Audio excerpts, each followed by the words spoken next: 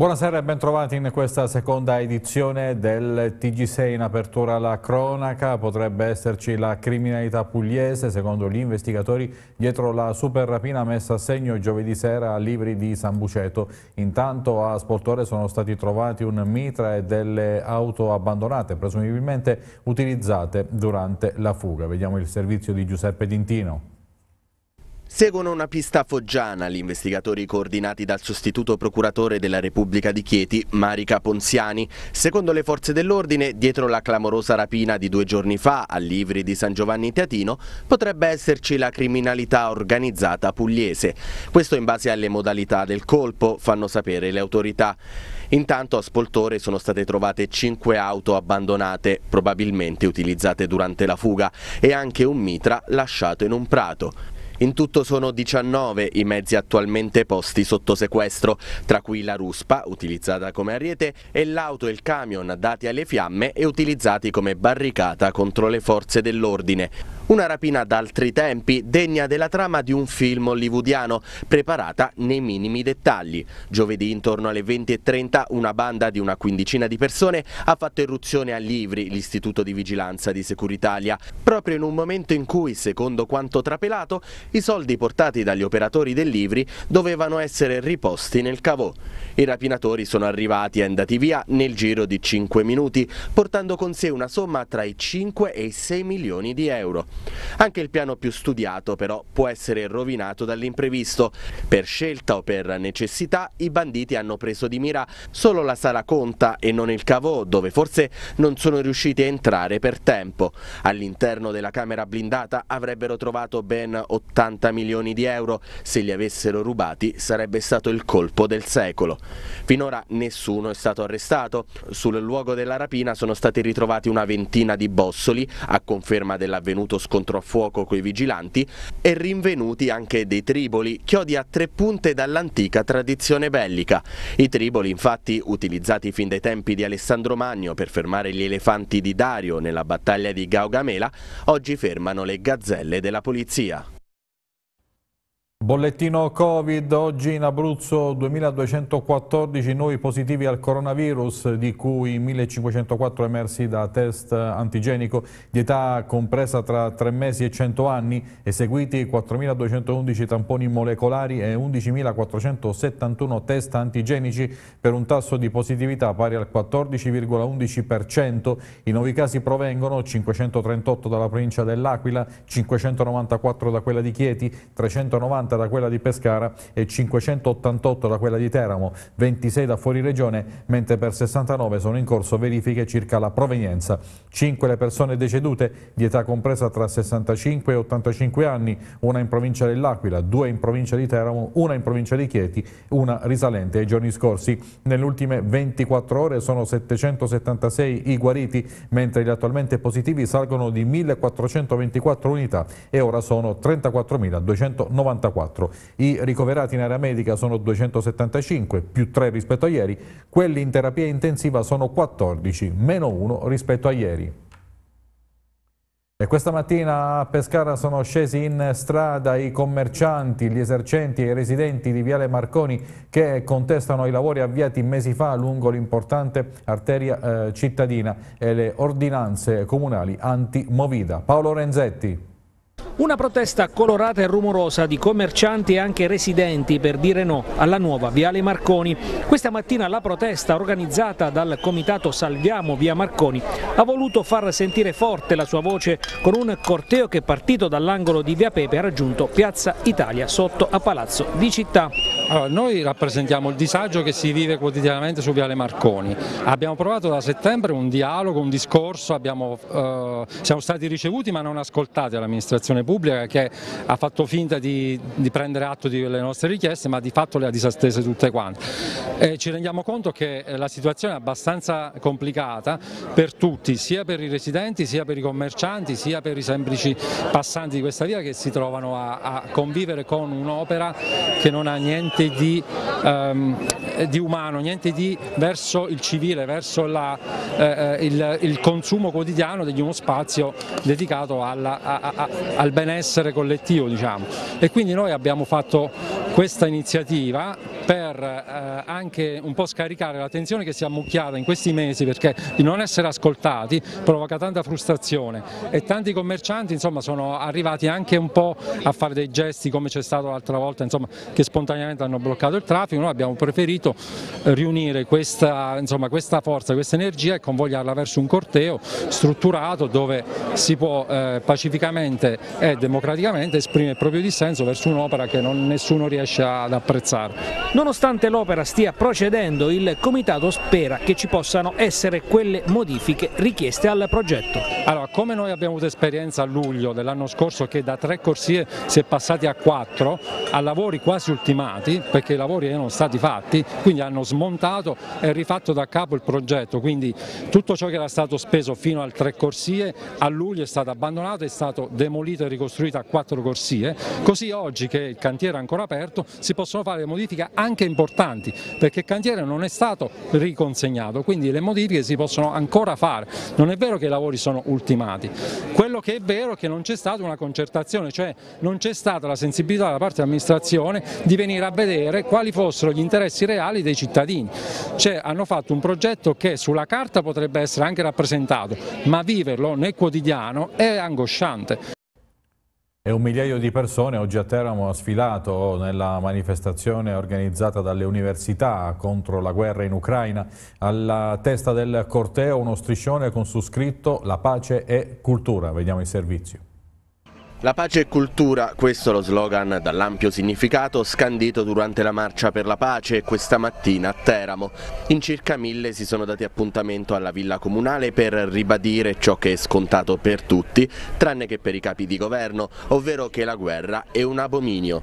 Dalla parte del paese invaso anche cittadini russi, come questa professoressa, giunta in Italia dopo l'inizio del conflitto. In Praga, in Londra, in Berlin. A Praga, Londra, Londra, a Berlino, oggi in tutto il mondo la comunità russa scende in strada in solidarietà al popolo ucraino, dice la docente. Uh,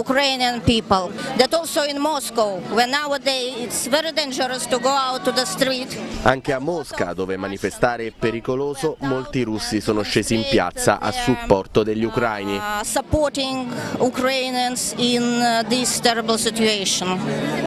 La manifestazione teramana è stata patrocinata dal Ministero dell'Università e della Ricerca e promossa dagli Atenei abruzzesi, dall'Istituto di Fisica Nucleare, dall'Istituto Zooprofilattico, dai conservatori musicali, da istituzioni e associazioni. Un momento corale importante, la marcia per la pace, la marcia della cultura per la pace, quindi eh, veramente ringrazio tutte le università abruzzesi, i centri di ricerca, i conservatori per questa partecipazione così, così così massiccia perché il messaggio è la pace e cultura, lo dobbiamo ai nostri ragazzi, lo dobbiamo a questo povero mondo. Anche se oggi noi non fermeremo le bombe che in questo momento stanno scendendo in Ucraina, però vogliamo dare la testimonianza della solidarietà tra i popoli e della battaglia per i diritti umani e soprattutto la pace si costruisce ogni giorno con le azioni individuali, azioni di rispetto, azioni azioni di collaborazione, azioni appunto anche di denuncia e di partecipazione attiva. Cambiamo pagina, dopo il simbolico incatenamento il sindaco di San Giovanni Teatino si è detto soddisfatto del primo incontro avuto insieme ad altri amministratori con il commissario governativo al progetto del raddoppio ferroviario Stefano Recanati.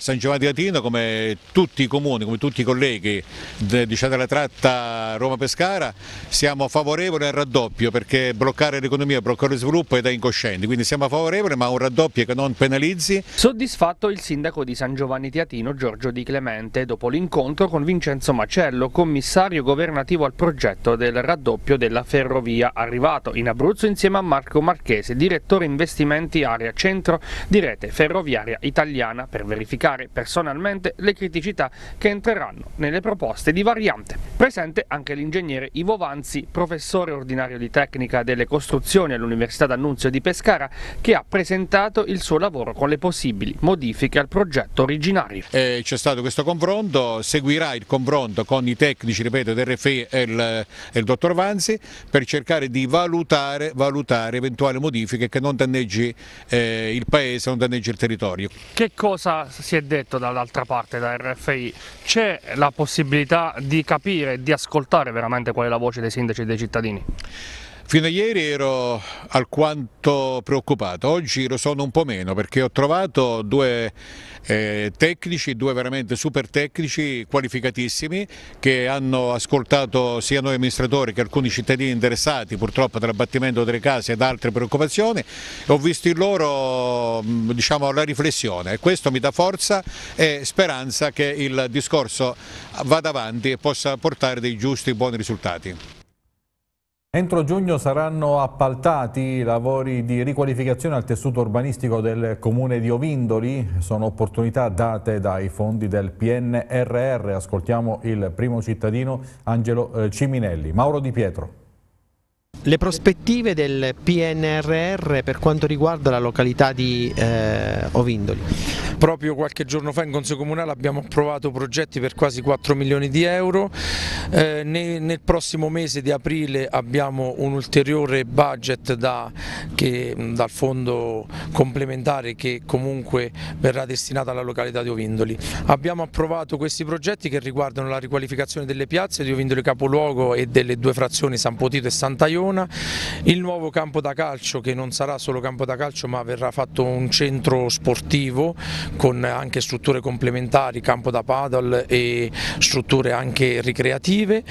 Per poi completare il tutto, già approvato questo come dicevo in Consiglio Comunale, con alcuni parcheggi e alcune strade, quindi per potenziare sia la viabilità che i parcheggi. Con l'ufficio tecnico rispetteremo appieno come abbiamo già rispettato le scadenze, noi entro giugno andiamo con gli appalti lavori.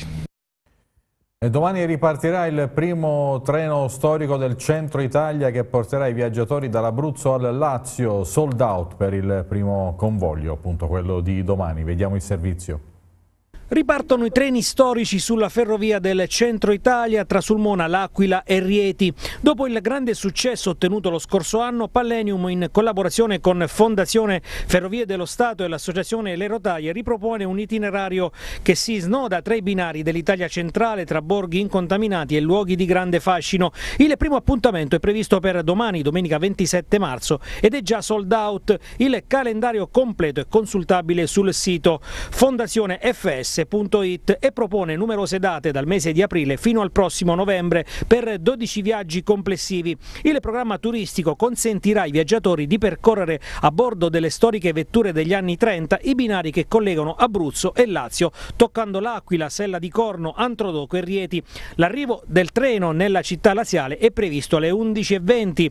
Dalla stazione poi partiranno dei tour dedicati alla scoperta delle bellezze della città reatina. Il treno storico ripartirà partirà da Rieti alle 17.15 con arrivo a Sulmona previsto per le 19.47 per conoscere le modalità di acquisto dei biglietti e tutte le informazioni relative ai prossimi eventi in treno storico è possibile consultare il sito www.fondazionefs.it o le fanpage ufficiali della Fondazione FS sui principali social network. Inaugurato questa mattina il murales realizzato dall'artista Antonello Max in via Tripoti nel quartiere Zanni nell'ambito del programma Murap 21-23. Vediamo. Quando l'arte diventa veicolo di promozione sociale e di crescita culturale, va anche in questo senso l'inaugurazione questa mattina del murale realizzato dall'artista frentano Antonello Max in via Antonio Tripoti nel quartiere Zanni di Pescara nell'ambito del programma Murap 21-23 Muri per l'arte pubblica a Pescara. L'iniziativa si fonda sul concept di combinare arte pubblica e riqualificazione urbana allo scopo di perseguire la missione della rigenerazione sociale Nella circostanza è stato anche inaugurato il giardino oggetto di recupero e destinato alla locale comunità. Allora, è nata lo scorso anno quando abbiamo deciso con l'amministrazione comunale e con la Fondazione Aria di eh, realizzare un progetto che abbiamo chiamato Murap Festival, Muri per l'arte pubblica Pescara. È ehm, una maniera per, eh, non solo per migliorare alcune pareti anonime, eh, ma è anche quella per eh, risvegliare un senso di appartenenza al, ai rispettivi quartieri dove le persone vivono. Per cui abbiamo sin dall'inizio pensato che non volevamo fare solo un'operazione di muralismo urbano, ma anche un'operazione di riqualificazione urbana, perché siamo convinti che attraverso questo format eh, muralismo, arte pubblica e riqualificazione si riesce a fare una vera operazione di rigenerazione sociale. Ne abbiamo cominciato lo scorso anno, stiamo già lavorando sulla edizione 2022 e speriamo di fare delle cose ancora più importanti. Questo è stata una sorta di test che ci ha insegnato tante cose. Sono convinto che quest'anno, nel 2022, faremo delle cose con un orizzonte molto più lungo.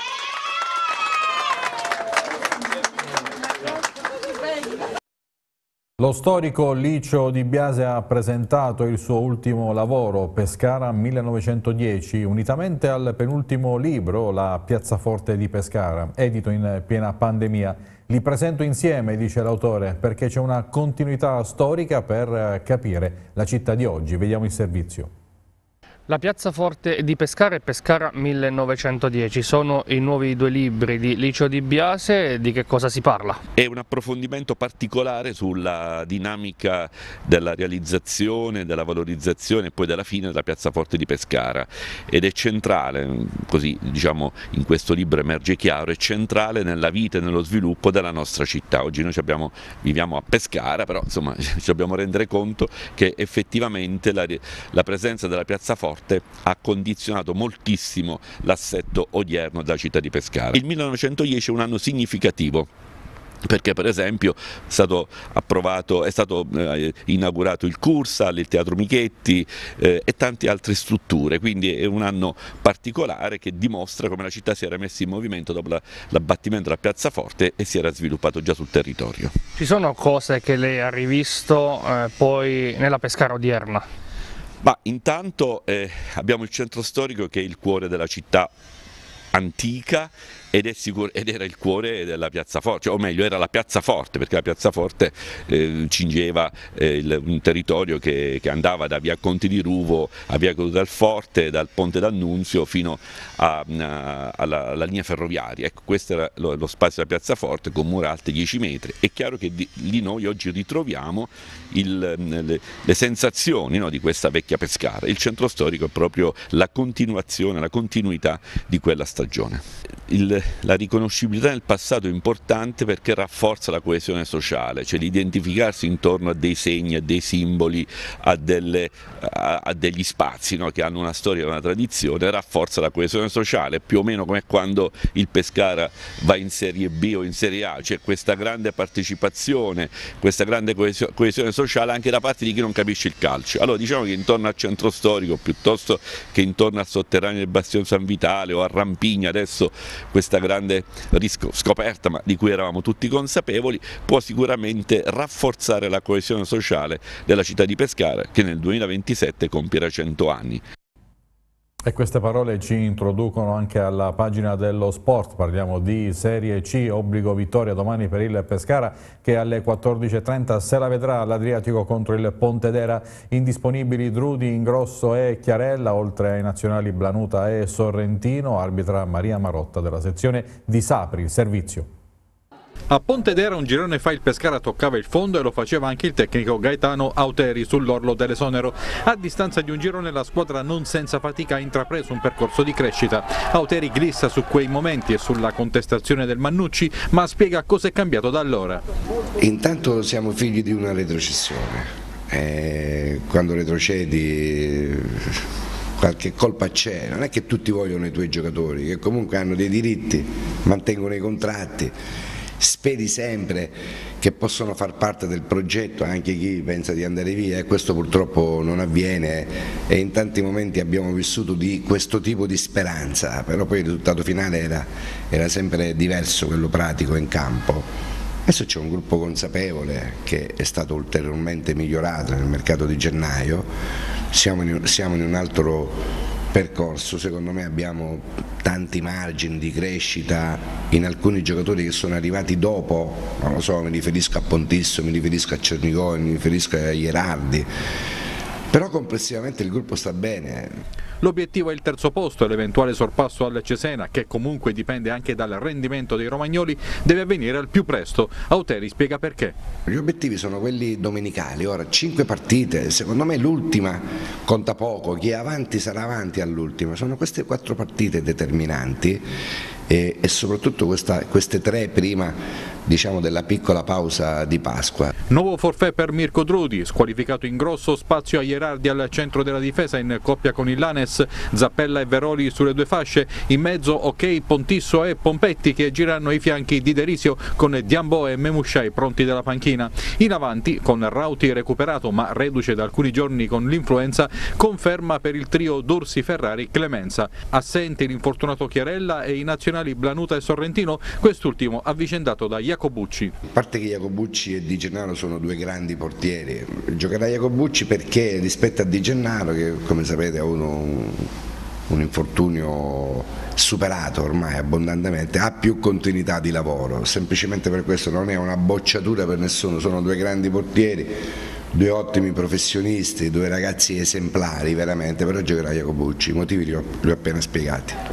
Nel Pontedera squalificati l'esterno Milani, in gol all'andata, e il centrale Specie. Nel 3-5-2 davanti a Melgrati spazio a Shiba, Matteucci e Bakayoko. Per retta e regoli gli esterni, in mezzo il capitano Caponi, tornato 20 giorni fa alla piena attività dopo pesanti strascichi del Covid, potrebbe strappare la maglia a uno tra l'ex Foglia, Serena e Barba, ex virtuale biancazzurro quest'ultimo. Davanti uno tra Mutton e Benedetti al fianco di Magnaghi. Il Pontedera è una squadra che gioca un 3-5-2, una squadra squadra che fa molta densità, che si difende molto bene nella propria metà campo, lo abbiamo analizzato nelle, nelle caratteristiche peculiari, come, come, come, sta in campo, noi dobbiamo pensare a noi, dobbiamo giocare veramente con grande accanimento, con grande cattiveria agonistica, con grande lucidità. Perché come ho detto prima adesso è il momento di quagliare, ecco, quindi adesso i punti non si possono perdere, non li dobbiamo perdere. È trasferta in Sardegna per il Teramo che domani alle 14.30 sfida l'Olbia per uno scontro diretto tra due formazioni appaiate a quota 37 punti e fuori dalla zona play-out. Guidi non pensa a quello che sarà ma solo a centrare l'unico obiettivo della stagione, quello della salvezza. Vediamo il servizio.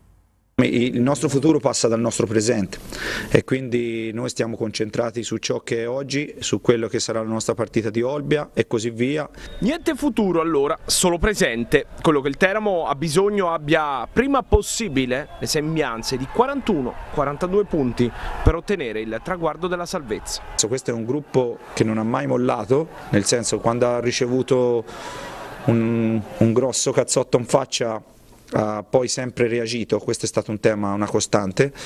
Eh, ora il nostro obiettivo era quello di trovare continuità a prescindere se le cose andavano bene o male. Anche se e dal presente si torna al passato, nel chiuso dello spogliatoio il diavolo nel momento più critico della stagione si era ripromesso di arrivare ad una quota un po' più su.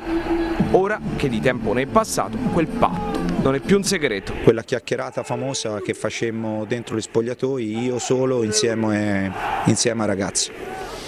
E i ragazzi hanno, si sono dati come un obiettivo, ma risale a dicembre, quando all'epoca avevamo 19 punti in classifica e il gruppo si dette come punto di arrivo obiettivo 45 punti. È chiaro che poi il nostro il nostro obiettivo è la salvezza e cercheremo di raggiungere quello che dentro al chiuso della porta dello spogliatoio ci siamo prefissati eh, consapevoli del fatto che noi, il nostro obiettivo poi è chiaro è la salvezza, se poi raggiungeremo i 45 punti o di più o meno però noi dobbiamo raggiungere la salvezza. Vincere ancora, stavolta provando a farlo ad Olbia e provando anche a dare quella continuità difensiva che è stata l'anticamera delle vittorie. 5 nel girone di ritorno, unico Elisir per tirarsi fuori dalle sabbie mobili dei play-out se noi andiamo avanti con quella che è la nostra filosofia, la nostra mentalità, vincere due partite e perderne tre vuol dire fare più punti di una che fa cinque pareggi, eh? Eh, quindi eh, siamo, ci salviamo. E questa è stata anche la nostra mentalità, a volte abbiamo rischiato di perdere, però abbiamo vinto anche di più degli altri. Non ci sarà Pinto, semaforo verde invece per Azio Osmanovic, Bernardotto e Soprano, in mezzo a Rigoni onnipresente, mentre sugli altri c'è ancora da scegliere, vista l'abbondanza e i pochi slot a disposizione. In tanti meriterebbero di scendere in campo e il fatto di essere passati con due centrocampisti è chiaro che ho penalizzato eh, hanno, avendone nove ho penalizzato Forgione, ho penalizzato Viero, ho penalizzato De Grazia, eh, ho, ho, penalizzato Papaserio perché, o Rossetti o Fiorani, non cito Arrigoni perché è chiaro che è il nostro capitano e il nostro leader e quindi è quello che gioca praticamente tra virgolette sempre. Però eh, è un sistema che avendo tanti centrocampisti qualcuno qualcuno è per forza di cose penalizzato. L'obiettivo è chiaro, giocare col DNA consueto ma mettendoci dentro quel pizzico di razionalità che serve per capire che adesso ogni errore potrebbe costare doppio. Cioè, io non ho mai visto una squadra che ha come obiettivo la salvezza e vincere un campionato. L'importante è arrivare all'obiettivo, poi il come lo discutiamo, analizziamo, è anche piacevole perché poi si migliora, sono punti di vista, che non c'è la scienza esatta, perché sennò tutti faremmo la stessa, la stessa cosa, no? Anticipi di Serie D nella giornata di oggi in campo sia la Vastese sia il Notaresco, Notaresco che ha pareggiato a Piedimonte Matese per 1-1 al termine di una partita piuttosto sofferta e che era iniziata male per la squadra di Epifani che era andata sotto per effetto di questo colpo di testa di Galesio, l'attaccante argentino del Matese al dodicesimo minuto su cross di eh, Setola. In pieno recupero al 91esimo il pareggio eh, del Notaresco con il solito Maio che raccoglie raccoglie il traversone di Blando e mette dentro dalla corta distanza 1-1 a Piedimonte Matese. Ed è andata peggio alla eh, Vastese, battuta in casa dal Tolentino per 2-0. Vediamo il servizio di Jacopo Forcella. Ritorno dopo la sosta è amaro per una Vastese opaca e che cade al cospetto del Tolentino. Gara non bella e nella quale i marchigiani sfruttano un episodio nel primo e uno nel finale per portarsi a casa l'intera posta in palio. Al primo e quasi unico squillo, minuto 14 della frazione iniziale, il Tolentino passa. Il piazzato di Severini sul primo palo vede la risposta di Di Rienzo, miracoloso con l'osiglio del palo, anche sulla ribattuta sotto misura di Zammarchi. Nulla può, tuttavia sul sul tap-in, a quel punto semplicissimo, di Padovani che porta i Cremisi in vantaggio.